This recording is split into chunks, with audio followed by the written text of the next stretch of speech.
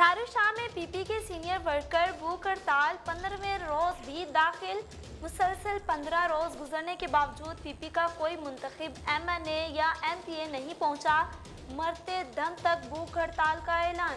जिला नशहरा फिरोज के तारीखी शहर ठारू शाह में पीपी के सीनियर वर्कर मोहम्मद लायक अजन रोज़गार न होने पर पीपी के रहनमा और आला क्यादत के खिलाफ पंद्रहवें रोज से भूख हड़ताल पर बैठा है।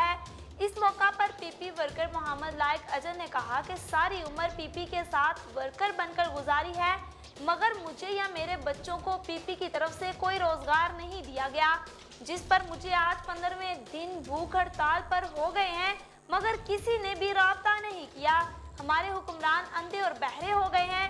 पीपी जाले ने पीपी की कियादत बिलावल जरदारी और आसफ जरदारी से आसफ जरदारी से मुतालबा किया है कि इसे फौरी तौर पर रोज़गार दिया जाए। दीगर सूरत में वो मरते धम तक भूख हड़ताल पर बैठेगा।